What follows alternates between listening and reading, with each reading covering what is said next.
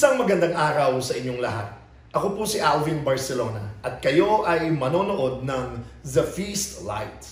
Ang The Feast ay isang pagtitipon ng Light of Jesus Family na pinasimulan ni Brother Bo Sanchez. Ito ay nagaganap sa lahat ng sulok ng bansa at sa buong mundo kung saan may pagtitipon sa pangalan ni Jesus at nakakaranas ng pag-ibig, ng pag-asa at pagpapalalim ng pananampalataya na maaari nyo rin maranasan at gawin pagkatapos yung manood sa pagbabahaginan o sharing ninyong magkakasama gamit ang mga reflection guides na ibibigay pagkatapos ng talk na inyong mapapanood.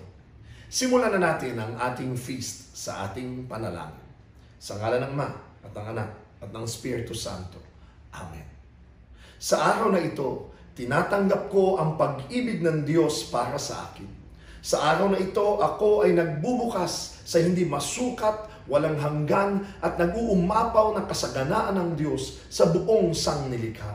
Sa araw na ito, ako'y nagbubukas sa biyaya, kagalingan at himala ng Diyos. Sa araw na ito, ako'y nagbubukas sa salita ng Diyos upang ako'y maging kahalintulad ni Jesus araw-araw. Sa araw na ito, aking itinatanghal na ako ay mahal ng Diyos. Ako ay lingkod ng Diyos. Ako ay makapangyarihang kampyon ng Diyos. At dahil ako ay pinagpala, pinagpapala ko ang mundo sa ngalan ni Jesus. Amen. Sa ngalan ng Ama at ng Anak at ng Espiritu Santo. Amen.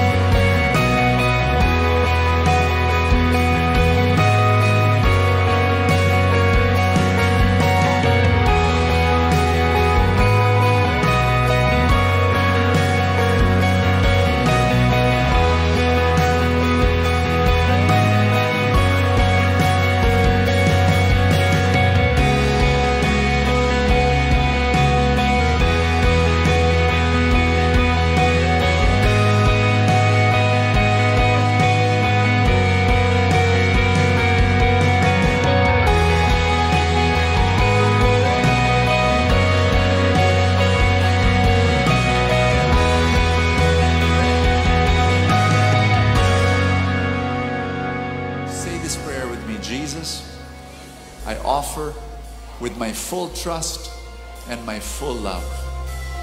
And I believe you will bless me more so I can give more. In Jesus' name, Amen.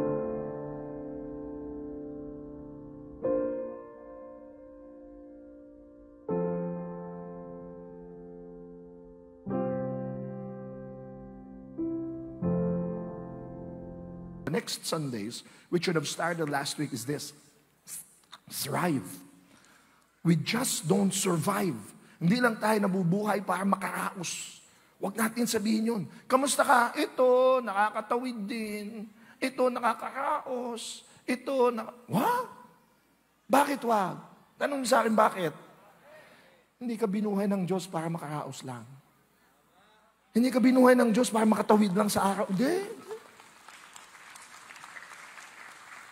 Kaya sa Genesis pa lang, pinatatanim ng Diyos ang every seed and fruit-bearing plant. Kasi pag ikaw nagtanim, basic agriculture, basic planting, pag yan tumubo, hindi lang para sa'yo tutubo. Pag ikaw ba nagta- nagtanim ng punong mangga, kung ilan lang kayo sa pamilya, lima, lima lang ang bunga. Ay, lima lang tayo, lima lang. Hindi, laging sobra-sobra yan. Ah, nagtatanim ba ng palay eh, para, para sa kakainin lang nila? Biro mo, ilang, ilang buwan nilang aantayin para sa isasaing lang. Hindi, laging sobra yan. Gets nyo? Tinuturo sa atin yan ang pagtatanim. Tinuturo sa atin na palaging sobra. Dinesign ng Diyos sa pagbinayaan kanya, sobra. Siksik, liglig at umaapaw. Bakit? Para hindi lang sa iyo yan, para ipamahagi mo yan sa iba. You will not just survive, you will thrive. At itong talk to, talk to na ito eh. Review ko lang ng konti yung talk 1 na binigay ni Rex Mendoza. Grabe yun. Sa morning session last Sunday. Itong talk to na ito, paborito ko title. Bakit? Sabi dito, everyone's a genius. Woo! At papatunayan, I, well, I'm an educator and I just launched a series of programs in our school. Baka akala nyo, ano lang yan, uh, motherhood statement or, you know, uh, a kind, courteous, patronizing statement na lahat matalino. Nung bata ako, ewan ko sa inyo, pero mga lolo at lola ko, lagi nilang sinasabi yan, walang batang bobo. Walang taong bobo. Tama pala si lola at lolo. Bakit? Oh, educator talk. Pwede, pwede. Kilala niyo si Howard Gardner? Magkakaugnay yan eh. Pagtatanim, Gardner. Hindi, hindi. Si Howard Gardner, sa mga nakakilala, ang nagbigay sa daigdig ng theory of multiple intelligences. 1980s yung kanyang libro na Frames of Mind. He's, he is a developmental psychologist who studied the mind, the brain. Uy, totoo pala talaga. Kasi na-spot niya sa utak. By the way, he's director of Project Zero at Harvard University. Talagang lumaki yung ideyang yan sa larangan ng edukasyon na kumalat pa sa iba't ibang fields of sciences and disciplines. Na-spot nila sa utak na meron talagang intelligences Plural na ngayon yan. Dati mali yan. Intelligences, intelligence lang. Hindi, plural na ngayon. Bakit? May pito na naging siyam, na naging labing dalawang klase ng talino. Nung mga bata kasi tayo, kahit hanggang ngayon, ang iniisip natin, sino matalino? Yung matalino sa English. Ah, talaga naman, galing mag-English, no? Sa pronunciation at mga enunciation, di ba? O yung magaling sa math. Ay, matalino yan kasi ang galing sa math, no? Mula algebra, calculus, geometry, ah, yung x plus y, alam niya yan. Ako hindi ko alam yan, x plus y na yan. Ang alam ko lang, yung mga x mo, tinatanong mo y.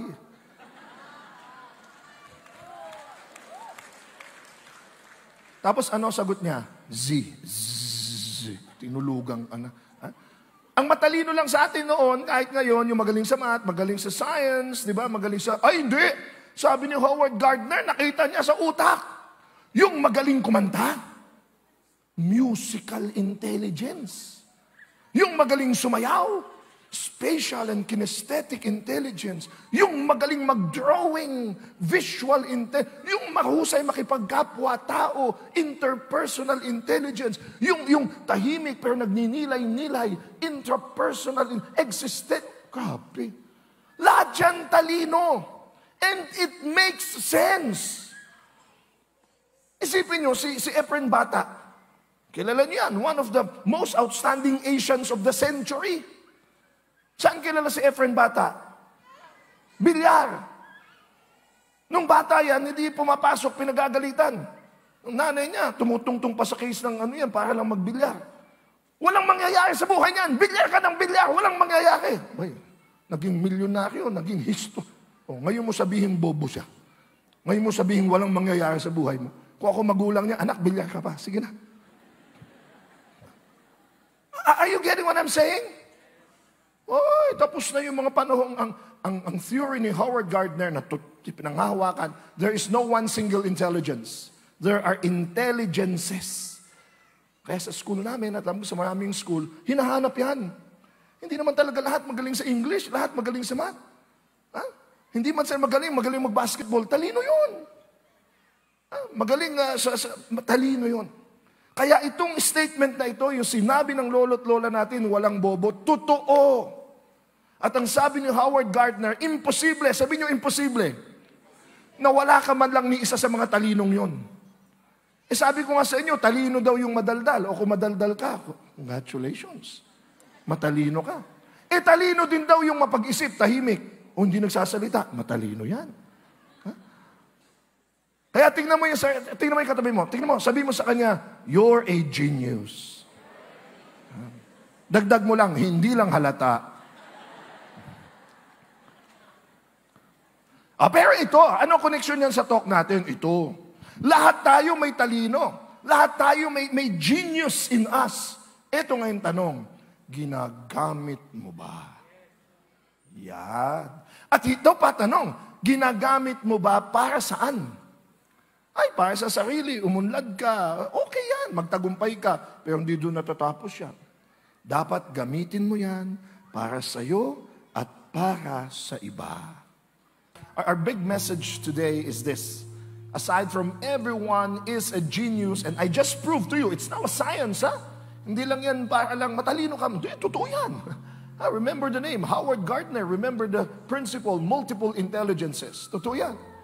Kaya ang lagi ko sinasabi sa mga teacher namin, ha, pagkausap mo yung mga magulang, unahin mo yung talino niya, huwag yung bagsak niya. Yung mo, minsan ka lang pupunta, sasabihin ko sa'yo, anak niyo, bagsak. O bagsak saan?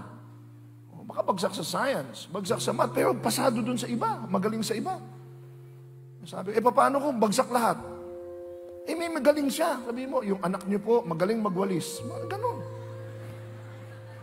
Dapat meron siyang galing. Hindi pwedeng wala. Yung anak niyo po, ang gandang umiti. Ah, pero bagsak po siya sa science, sa math, sa math. At least meron munang magaling siya. Hindi pwedeng wala. Ah, hindi pwedeng wala. Kaya ang second message natin dito, ito. Don't sit on it. Sabihin yung lahat, don't sit on it. Ibig sabihin, wag mo uupuan lang o wag mo itatago lang. Kaya mga hidden talent, di ba? Sabi nyo, uy, may hidden talent ka. Hide mo na lang.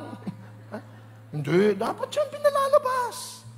Ah, kahit na sa una ru- ah, crude or raw, hindi. Ah, ilabas mo yan kasi hindi ka binigyan ng Diyos ng talento para lang itago. Yan ang babasahin natin ngayon.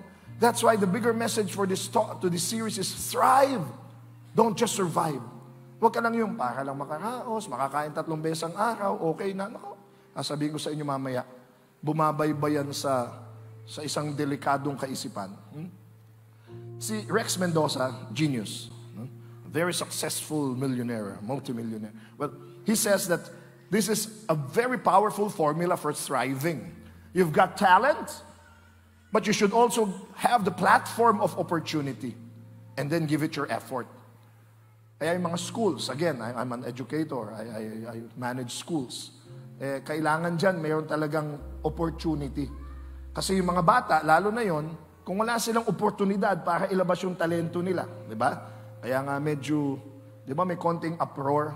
Eh, natatanggalin daw yung extracurricular activities, di ba? Nabasa niyo ba yan? Ng DepEd, di ba? Eh, isa ako dun sa nagsabing huwag naman. Kasi ang bata, hindi naman utak lang eh. Paano kung, kung hindi nga masyadong magaling sa academics? Eh magaling dong kumanta, sumayaw, magaling mag-drawing, saan pa nadadalhin yun? Eh, magbababad na lang yun sa ML, Among Us, di ba? Yun. Kaya dapat, buti may kausap ako mga millennial dito, alam nila yon no? Yung iba, ano, ano yung ML? Ba, ba, millimeter ba yun? Mga parang mukhang coke, ilang ML yun?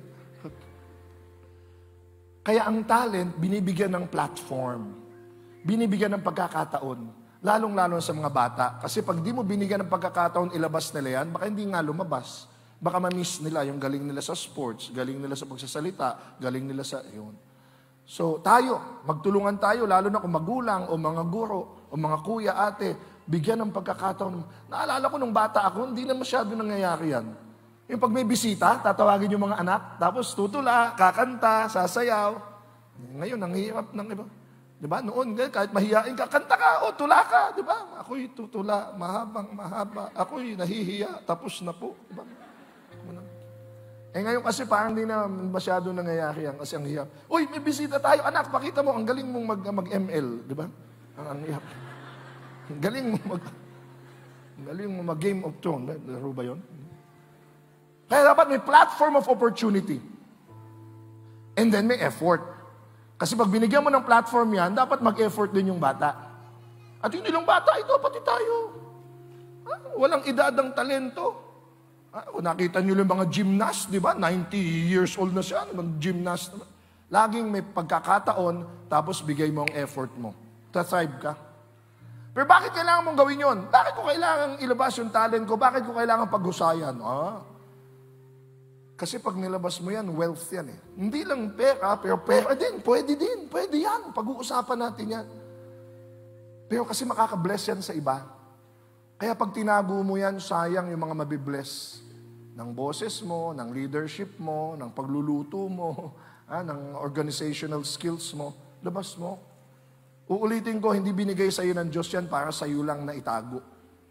Kasi ito, yung babasahin natin. Yeah, oh, well, that, that will be a continuing mantra in this series. The ultimate pur- purpose of wealth is to bless others. Bakit? Dito natin kinuha yan eh. Bear, it, bear with me please. Matthew 25, 14 to 30. Again, the kingdom of God can be illustrated by the story of a man going on a long trip. He called together his servants and entrusted his money to them while he was gone. He gave five bags of silver to one, two bags of silver to another, and one bag of silver to the last dividing it in proportion to their abilities. He then left on the trip. You've heard of this parable of the talents. Buti nga dito, dinerecho money. Sa ibang versions, talents. Sabihin nyo, talents. And sa atin, ang talent, sayaw, kanta, di ba, luto, ha? laba. Talent din yun, ha? Maglaba, ha? ha? Pero sa Biblia, ang talent, pera. Malaking halaga ang talent. Ha? Kasi meron silang, ano, dinero, tapos talent, malaki. In fact, ang one talent, nung pinag-aralan nila, pwedeng ang katumbas, mga $35,000 ngayon. Talent yan eh. Tapos ang iniwan na talent, silver. Iniwan talent, gold. Kaya yung limang talent, dun sa ano ba, sampung talent, this man entrusted a fortune sa kanyang mga servants. Di ba? Binigyan ng sampu, binigyan ng lima, binigyan ng dalawa. Dito dinerecho pera. Kasi pera talaga itong pinag-uusapan natin. Para malaman nyo sa fees, wala tayong iiwasang pag-usapan. At dapat pag-usapan lalo ang pera dito. Dahil tayong lahat, ah, practical sa atin lahat yan eh. Sino sa inyo hindi kailangan ng pera? Bigyan nyo na lang sa akin kung hindi nyo na kailangan. Mahalaga ang pera. Pero magandang pag-usapan yan sa konteksto ng Diyos. Nandito natin pag-usapan. O, pagpatuloy natin. Iniwan yan, ha? Ang sabi dyan, no? The servant who received the five bags of silver began to invest the money. Invest. The Bible talks about investment, money. And earned five more. Oh, kumita. Eh, napakahabang panahon hanggang ngayon, sabi nila, huwag niyong pag-usapan yung pagkita ha, sa simbahan o mga, ha, dapat ang pag-usapan lang. Sino sabi sa iyo? Eh, dito pinag-uusapan, kumita. Hindi masama ang kumita, basta tama ang puso mo, yan ang ulit-ulitin natin dito. The servant with two bags of silver also went to work and earned two more. Dumoble. But the servant received one bag, natakot. He dug a hole in the ground, hid the master's money. Tinago. Oh, tuloy natin. After a long time, their master returned from his trip, called them to give an account. Hoy! May accounting! Sa Tagalog, may pagtutuos. Bandang dulo, hahanapin sa'yo, binigay sa'yo. Eh, lalo na yan, pinagkatiwala. Eh lahat naman to pinagkatiwala mula sa buhay natin hanggang sa yaman natin. At eto na, nagtuos na.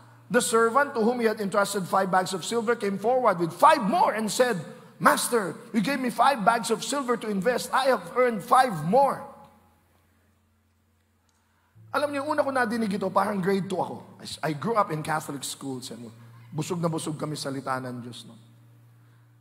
Nung bumalik yung biniti nung, nung, nung teacher ko, oh, pinagkatiwala niya. Pagbalik, yung isa ginamit dinoble, pangalawa ginamit dinoble, yung isa tinago. Tinanong niya muna kami, palagay niyo anong gagawin ng master doon sa mga servants? Ang una kong kaisipan, kami lahat, pagagalitan niya yung gumamit. Hindi naman sa iyo, ba't mo pinakialaman? Kaya tignan niyo ang Bible, no? Yung inaasahan mong highly spiritual, biglang iti-twist ka na, uy, practical. Bakit? Itong ginamit na lima, na doble, ano sagot? Ano sagot ng master? The master was full of praise. Natuwa siya. Natuwa siya na kumita ka. Hmm? Well done, my good and faithful servant. You have been faithful in handling this small amount, although I told you it's not a small amount. Five bags of silver. So now I will give you many more. Woo! Yan yung sinasabing ang binigyan at pinag-ibayo pa, lalo pang bibigyan.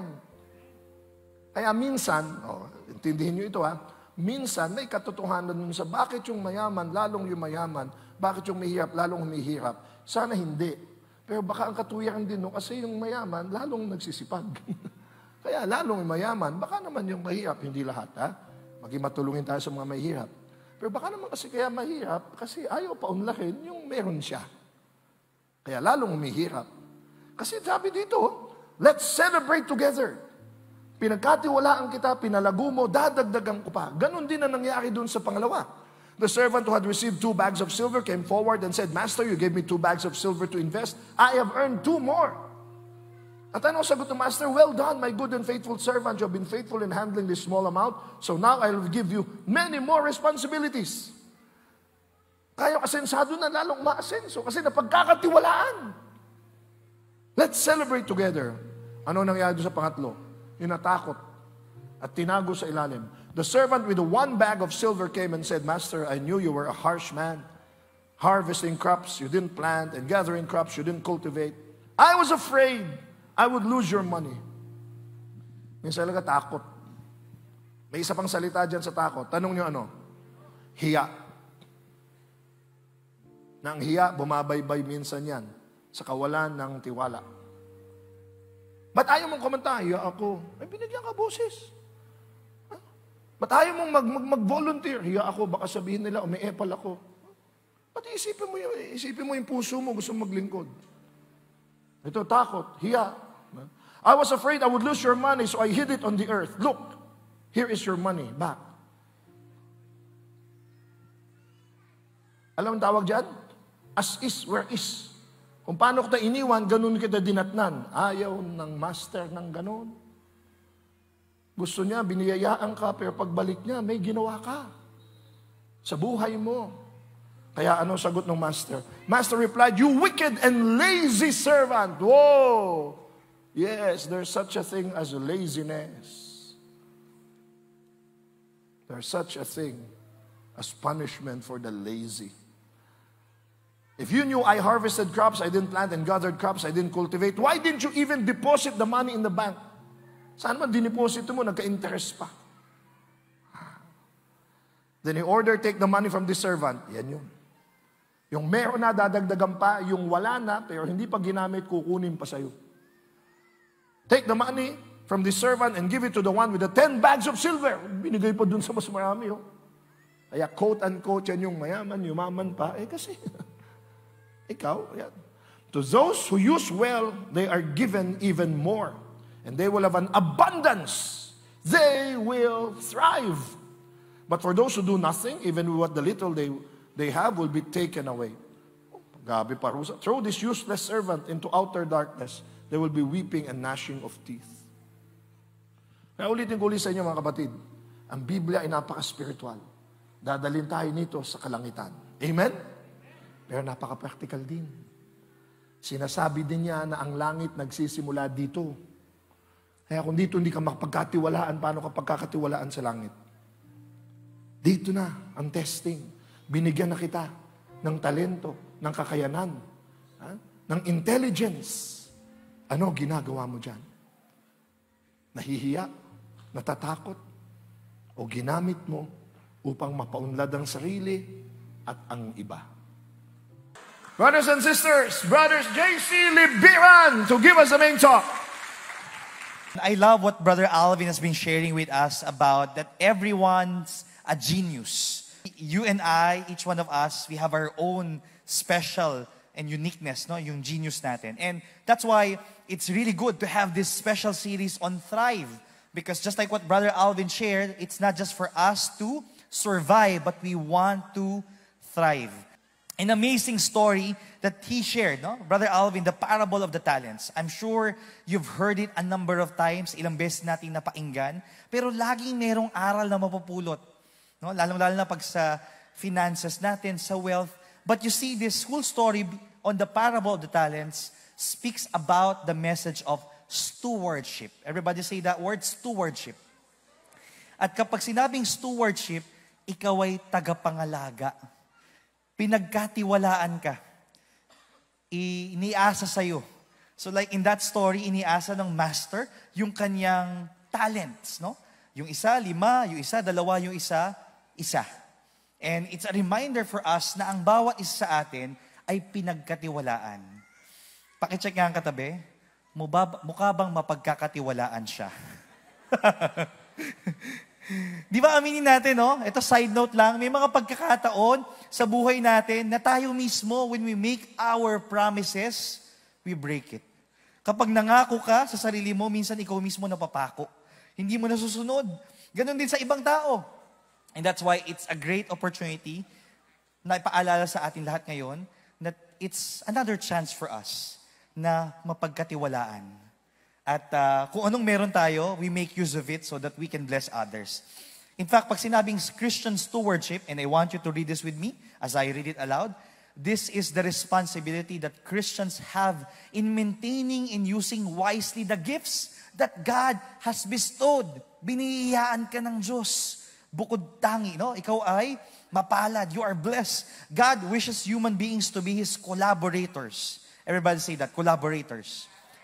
Of in the work of creation, redemption, and sanctification. Hindi natapos no, yung mission ng Diyos. Nagpapatuloy sa bawat isa. And you carry this out sa inyong pamilya, sa inyong trabaho, in the community, in your business, wherever you are. In fact, when you speak about stewardship, babalik at babalikan natin yung book of Genesis. And this is in Genesis chapter 1, verse 28, which says us to us, and God blessed them. And God said to them, everybody, be fruitful and multiply and fill the earth and subdue it and have dominion over the fish of the sea and over the heavens and over every living thing that moves on the earth. Again, it's a reminder na ano, pinagkatiwalaan ng Diyos ang bawat isa sa atin. And maybe when you look into your lives, kung anong meron sa buhay mo ngayon, are you taking care of it? Alam nyo, yan po yung tanong ko. Uh, I heard it from Father Bao, no? I'm not 39 years old. Dapat raw ang sabihin ko, I'm turning 40 next year, no? And people would normally say, di ba, life begins at 40. I ask myself now, have I been a good steward? Naging mabuti ba akong tagapangalaga? Naging mabuti ba akong lingkod ng Panginoon Diyos? No? In the many roles that I play, that I, you know, the hats that I wear, I'm asking that question, have I become a good steward? And friends, I'm asking you the same question. Have you become good steward in your life? Yung bang mga ipinagkatiwala sa'yo sa buhay mo, napapangalagaan mo at napagyayaman mo. And you're not just keeping it to yourself, but you are sharing it to others. And that's why our one big message, apart from, of course, everyone's a genius, is this. Don't sit on it. Can you just say that again to the person beside you? Don't sit on it. Huwag mo lang upuan. Huwag mo lang sayangin. Huwag mo lang hayaan. Gamitin mo. And that's why when you speak about this, unang-una ito, we're challenged. Don't sit on your time. Lahat po tayo, the great equalizer is that we have the same time. We have 365 days in a year, yes? 12 months, 7 days a week, 24 hours a day, 86,400 seconds. Mayaman ka, may kakayanan, medyo naghihirap, lahat po tayo pantay-pantay meron. Pero how come the rest, they're able to really maximize, optimize, and really do great in their finances and wealth?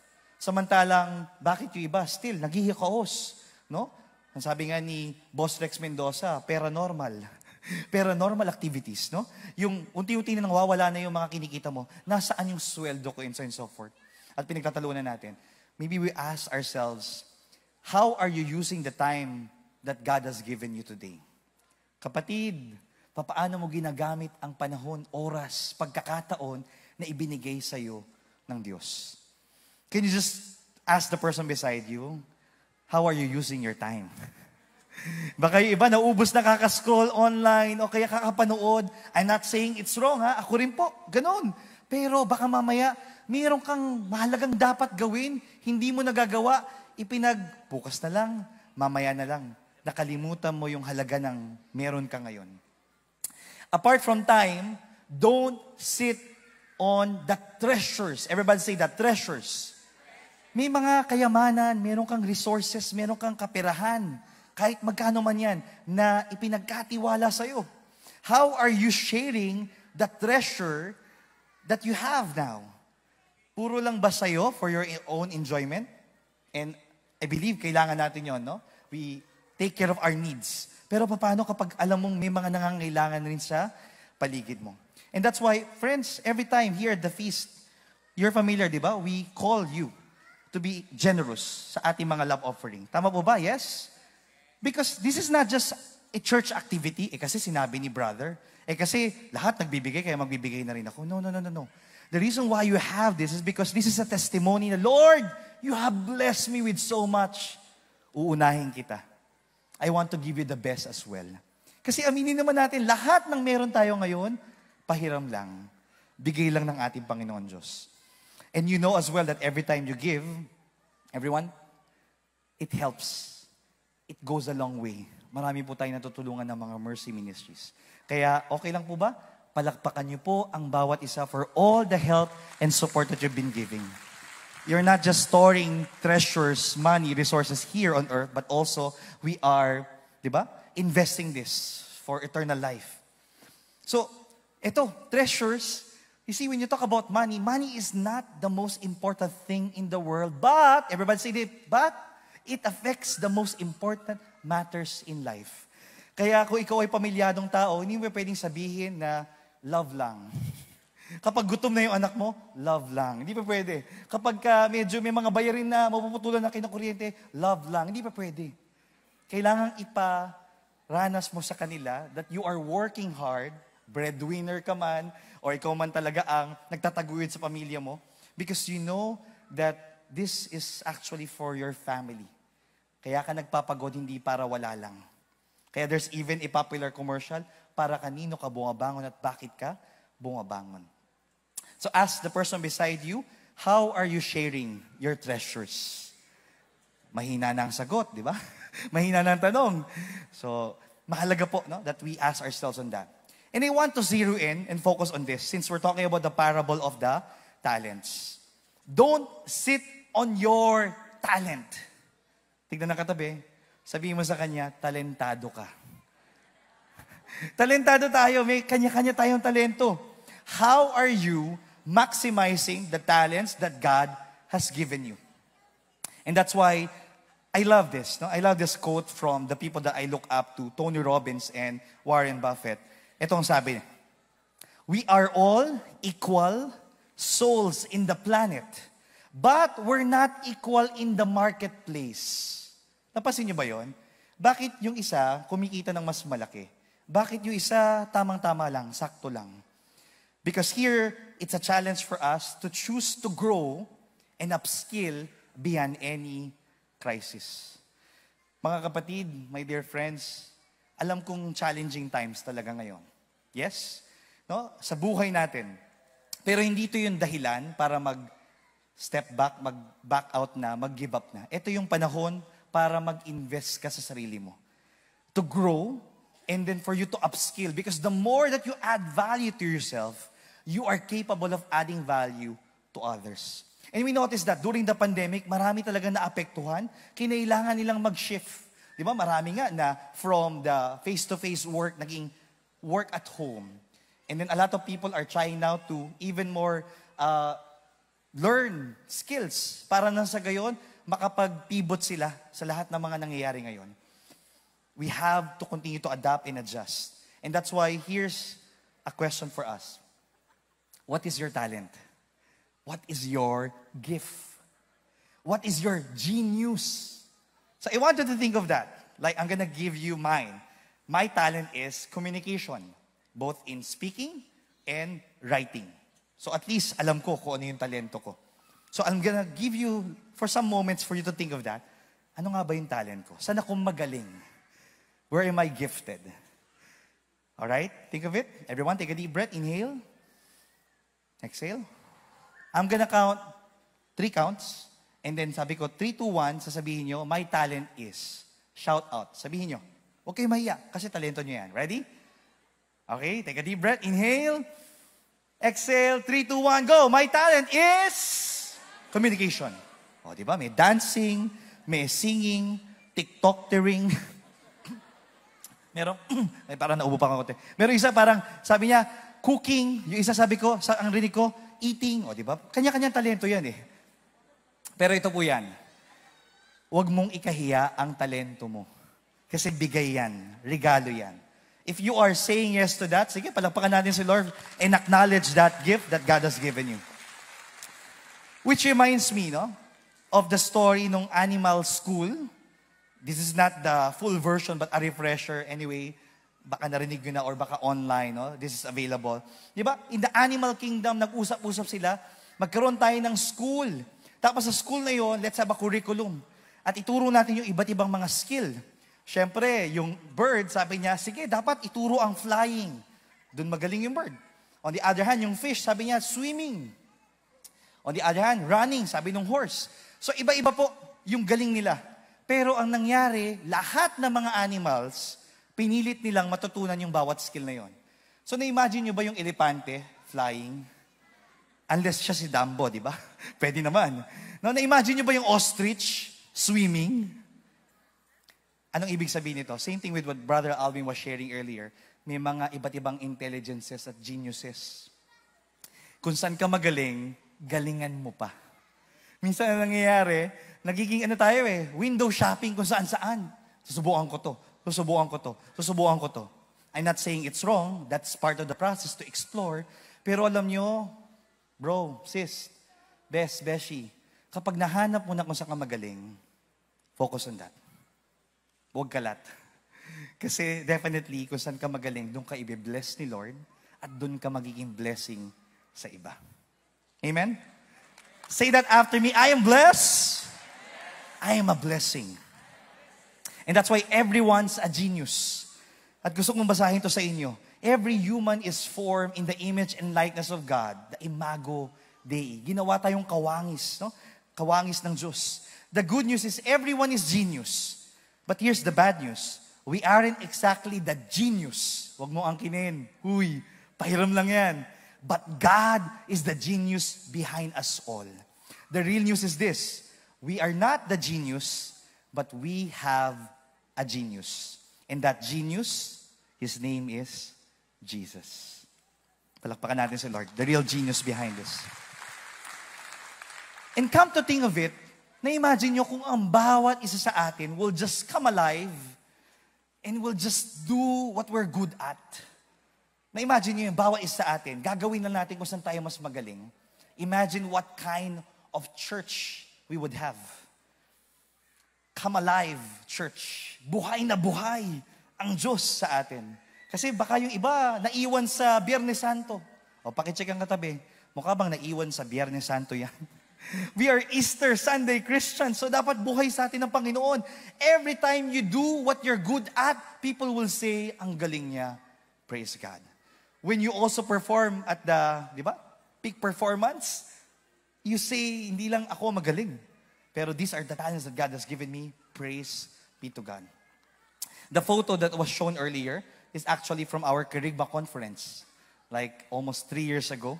And then now it's called Feast Conference. Magkikita-kita tayo ulit. Hinikilabutan po ko every time, you know, the body of Christ comes together. Dito pa lang nga sa feast eh, every Sunday. And we recognize, napansin niyo po may mga servants tayo. In the music, in the warmth, security, iba-iba. They're using their gifts. Okay lang bang i-recognize natin sila? Palagpakan natin yung mga servants natin. And we are also called to serve. Now, some of us, why not serve with us here? Pero wag niyong iisipin, ay hindi ako nakakapag-serve sa feast. Don't think less of yourself. Sa pamilya mo, sa trabaho mo, sa business mo, sa side hustles mo, passion project mo, whatever that you're doing, you are being called to shine the light of Jesus. And that's why all of us, na imagine mo, coming alive, sa gitna ng crisis, sa mga bagay na beyond our control, here you are. You are shining and showing that talent that God has given you. May mga pagkakataon po na nakakalimot din tayo, aminin natin yon. Kaya sa mga pagkakataon nakakalimot tayo ng galing natin, let's remember the trail of blessings. Coach JC, ano po yung trail of blessings? Pag sinabing trail of blessings, ito po yung mga experiences mo in your life na na-bless ka at naging blessing ka sa iba. So, doon pa lang, meron ka na kagad hint. Meron ka na kagad clue. Oo nga, no? Kapag nagluluto ako, pinapatikin ko sa kanila, panalo talaga. Sobrang solve sila. nag enjoy kapag ka meron akong ginagawang content online, talagang patok. So doon nakikita mo na that there's already that inclination that you're good at that and you're being a blessing as well to people. Never forget your trail of blessings. Tapikin ang katabi. Sabihin mo sa kanya, bless ka. At blessing ka. I want to share, you know, as many people as we can. Pero siguro kahit ito lang for now, si Elaine Samonte, behind Kwentong Papel, she is actually an architect, but she got into paper artistry. And imagine this kind of works of her. Alam nyo, I can attest to this. Why? Because brother-in-law po ako. Nakita ko how she started and how she's trying to make creative into the paper. Di ba yung kwentong papel? Karaniwan, kwentong barbero. Ito, kwentong papel. No, talagang kitang-kita mo. And now, she's able to create. It's really a delight whenever she sees it. And then kapag naibibigay niya sa kanyang client, natutuwa rin kasi it becomes a personalized gift. And because of that, she's earning and she's also blessed.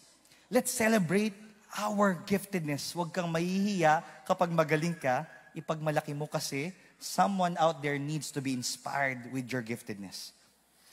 Si Elaine pa lang yan, kwentong papel. But apart from it, we're so blessed to have our feast worship. Can we just give a round of applause for God for the feast worship? Di ba yung mga songs natin dito sa Mass? And even during the pandemic, they continue to do recording of themselves on video. Napapanood natin to nung online. They created music. They continue to learn songwriting. Grabe. Mapapasin mo talaga, hindi sila nagpahinga. And that's why, I believe, no? They're preparing for a concert. And we're excited for the Feast Conference because these guys never stop growing and learning. Kapag na-discover mo na yung talento mo, wag mo nang papakawalan pa. Galingan mo pa. Because you'll be a blessing to many people. In my advocacy po, in the Inspirepreneur movement, and I believe maybe some of you are watching online, o kaya maybe someone here in the crowd, uh, what I do is I help aspiring creative entrepreneurs, content creators, and lifelong learners to discover their genius, monetize it, and become a force for good. And that's why in the many interviews that I did sa akin pong Inspirepreneur podcast, no? Na nasa Spotify or Anchor.fm, bawat isa sa kanila pag ini-interview ko, I come alive, I get inspired. At minsan kailangan natin yon. Some people will come up to me, ako raw yung inspiration. But actually in the process, no, no, no, no. Ikaw yung inspiration sa akin ngayon. Why? Because you continue to discover, you continue to develop, deliver, and even you are devoted in what you do. And because of that, I get fired up again. So friends, if you want na magpatuloy yung celebration ng giftedness nyo, be around with like-minded people. And that's why we are in good hands dito sa feast. Because we get to celebrate each other. Amen? If you're blessed by our community, palagpakan natin sa Lord for that. I did ask this, but I'm gonna ask you another way. I'm a Marvel fan. What is your superpower? Saan ka magaling? Kasi yung galing na yan, ibinigay sa'yo, baka nga ikaw lang ang meron yan. Kumbaga kay Darna, ikaw lang ang may bato. no? At uh, kailangan mo lang gamitin, huwag mong itago. There are actually four ways to unleash our superpower. And how many here you want that? You want to unleash your superpower, your gifts, your talents. Kasi mabibless ka at mabibless sa ibang tao. Can you just raise your hands and say, gusto ko yan, gusto ko yan. Simple lang po, apat. Discover it, or for some, nakalimutan na, kaya rediscover it again. Balikan niyo yung trail of blessings. Develop mo. Baka kailangan mong mag-practice, baka kailangan mo ng coach, baka kailangan mo ng mentor.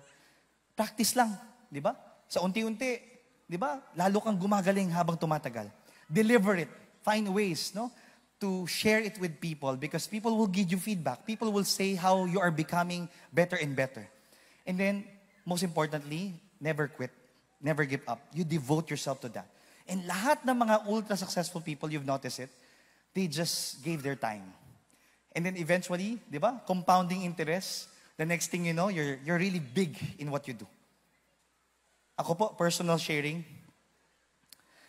I forgot that I had this book, Wholehearted, 21 Ways to Live a Courageous Life.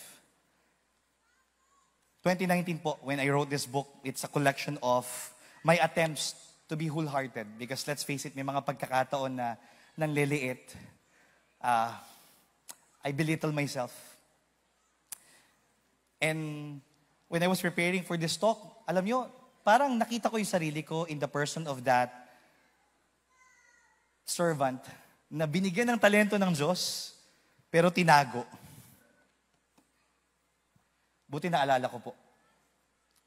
I'm sharing that with you because marami mga pagkakataon, may chance ka to share your gift, pero itinago mo. Baka nasayang.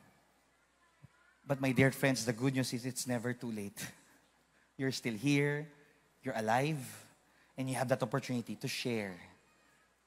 Don't keep it to yourself because God's gift is meant to be shared. And that's why it's also like what Uncle Ben shared, di ba? Sa Spider-Man movie, with great powers and gifts comes great responsibility. In Matthew chapter 25 verse 29 it says, "For to everyone who has, more will be given, and he will have in abundance, but from the one who has not, even what he has will be taken away." Alam niyo po, dapat wala na ako today kasi four months ago, I had an accident.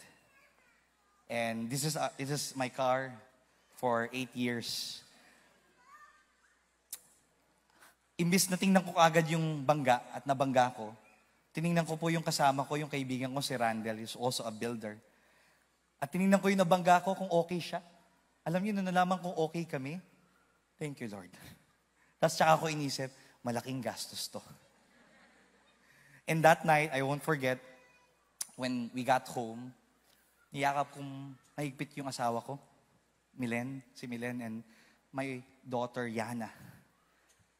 And I said to the Lord, thank you Lord, buhay pa ako. I want to give you that permission. Hindi niyo po kailangan ng near-death experience. Hindi niyo kailangan ng birthday or special event for you to make a decision to use your talent. You can make that decision today. Kaya gusto-gusto ko yung sinabi ni Les Brown. The graveyard, ang cemetery raw, is the richest place on earth because it is here that you will find all the hopes and dreams that were never fulfilled, the books that were never written, the songs that were never sung, the inventions that were never shared, the cures that were never discovered.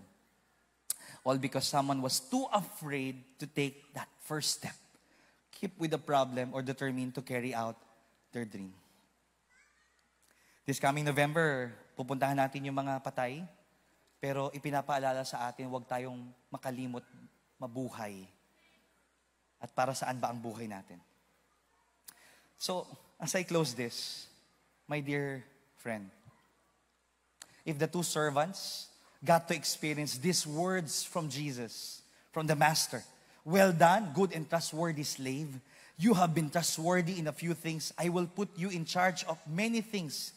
Enter into the joy of your master. Whew. Imagine that. Jesus telling that to you. And that's also what Jesus experienced during the transfiguration. Sinabi sa kanya, this is my son with whom I am well pleased.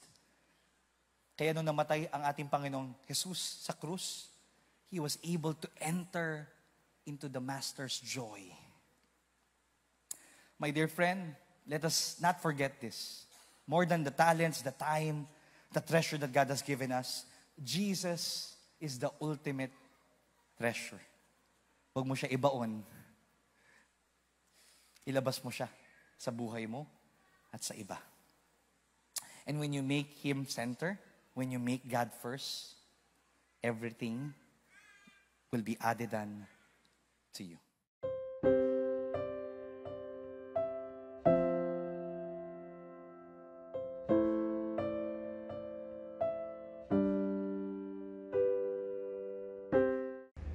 Tayo'y manalangin. Sa ngalan ng Ama at ng Anak ng Espiritu Santo. Amen. Mahal naming Ama sa Langit, Kami po ay nagpupuri at nagpapasalamat sa isa na namang pagkakataon na kami muli mong tinipon at tinawag upang makinig sa iyong salita. Ipinapanalangin ko ang lahat na ngayon natitipon sa ginanap na feast light na ito.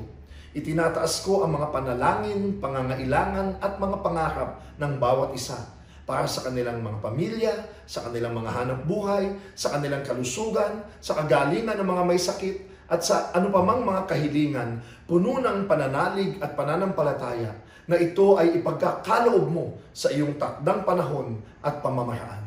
Nawa, patuloy ang maging pagtitipong tulad nito upang lalong ang mabago ang aming mga buhay ayon sa iyong kalooban. Sa ngalan ni Jesus. Amen. Sa ngalan ng Ama at ng Anak at ng Espiritu Santo. Amen.